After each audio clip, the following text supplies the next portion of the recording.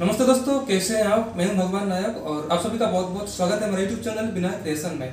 दोस्तों एटीएम और credit card की डेटा को सेट और सिक्योर रखने के लिए आरबीआई यानी रिज़र्व बैंक ऑफ़ इंडिया ने एक नया नियम जारी की है। ये नियम क्या है और कब से लागू होने वाला है और इससे फ़ायदा क्या है कार्ड होल्डर को? सब कुछ बताऊँगा वीडियो का अंदर। So let's get straight to the video number आप देख सकते हो, और मैंने आरबीआई की जो ऑफिशियल वेबसाइट होता है, यहाँ पर आ चुका हूँ। और आप न्यू अपडेट में देख सकते हो कि यहाँ पर दो बड़ा सर्कुलर आया है आरबीआई की तरफ़ से। एक तो है tokenisation of card transaction enhancement आप यहाँ पे देख सकते हो।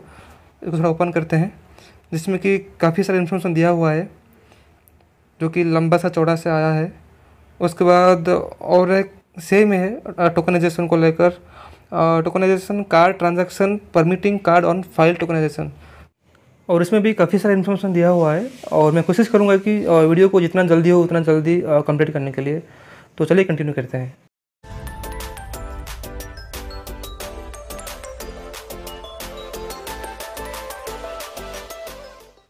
दोस्तों, जब भी आप ऑनलाइन में कुछ ट्रांजैक्शन करते हो ई कॉमर्स प्लेटफॉर्म में, जैसे कि Amazon Flipkart Myntra Paytm Swiggy Zomato ऐसे बहुत सारे हैं।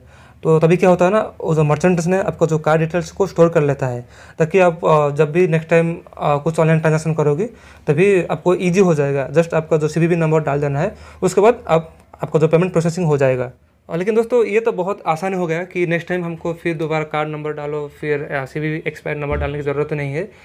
लेकिन क्या ना, उनका पास जो हमारा डाटा स्टोर होकर रह जाता है, और फ्यूचर में हमारा जो डाटा कभी भी चोरी हो सकता है, उसके बाद हमारे साथ हैक और फ्रॉड भी हो सकता है। तो इसलिए दोस्तों, इस मुद्दे को ध्यान रखते हुए आरबीआई यानी रिज़र्व बैंक ऑफ़ इंडिया ने एक नया नियम लेकर आया है, जिसका नाम है टोकनाइजेशन ऑफ़ पेमेंट सिस्टम, जिससे कि कस्टमर को बहुत बेनिफिट होगा और बहुत लोग ऐसे ही इनसिक्योर फील करते हैं, क्योंकि कोई भी नहीं चाहता कि अपना जो कार्ड डिटेल्स को शेयर करे। तो इसलिए ये आर ने ये रूल्स लेकर आया है। और दोस्तों, ये जो टोकनाइजेशन सिस्टम कैसे काम करता है, मैं आपको बताऊँगा कि जब भी आप कुछ ट्रांजेक्शन करते हो, अपना जो कार्ड डिटेल्स देते हो, लेकिन कार्ड डिटेल्स के बदले आपको एक यूनिक कोड नंबर दिया जाएगा उसको आपको यूज़ करना होगा। जैसे कि आप पहले कार्ड डिटेल्स का जो सोलह अंक डिजिट यूज़ करते थे लेकिन यहाँ पर आपको एक यूनिक कोड नंबर दिया जाएगा उसको आपको यूज़ करना होगा। और आपका जो कार्ड डिटेल्स है ये जो टोकन के साथ लिंक कर दिया जाएगा। और जो मर्चेंट के पास सिर्फ़ लिमिटेड डाटा है सेव होकर रहेगा जैसे कि क्रेडिट कार्ड का लास्ट फोर डिजिट उसके अलावा हमारा जो डाटा कुछ भी स्टोर होकर नहीं रहेगा उनके पास। और दोस्तों ये जो टोकन सिस्टम ये ऑप्शनल है। अगर आप चाहो तो आप इसे यूज़ कर सकते हो नहीं तो नहीं। ये कोई ज़बरदस्त नहीं है, आपका मर्ज़ी, अगर आप चाहें तो इससे ले सकते हो, वरना नहीं। और दोस्तों, ये जो टोकन बिल्कुल फ्री ऑफ़ कॉस्ट उसमें कुछ चार्ज नहीं लगाया जाएगा। और ये जो टोकन आप सिर्फ़ एक ही बार ही यूज़ कर सकते हो, उसके बाद ये डी टोकनाइज हो जाएगा, जैसे कि ओ उसका जो एक्सपायर हो जाता है, इस तरह काम करेगा ये। दोस्तों, ये जो रूल्स लागू होगा इंडिया में जनवरी फ़र्स्ट 2022 में, उससे पहले बहुत सारे कंट्री में लागू हो चुका है ये रूल्स अगर आप इसे लेना चाहते हो तो आप इसे यूज़ कर सकते हो, वरना जनवरी फ़र्स्ट से आप जितना बार भी ट्रांजेक्शन करोगे, आपका जो कार्ड का नंबर डिटेल्स पूरा आपको फिल करना होगा, तभी जाके आप ट्रांजेक्शन कर पाओगे।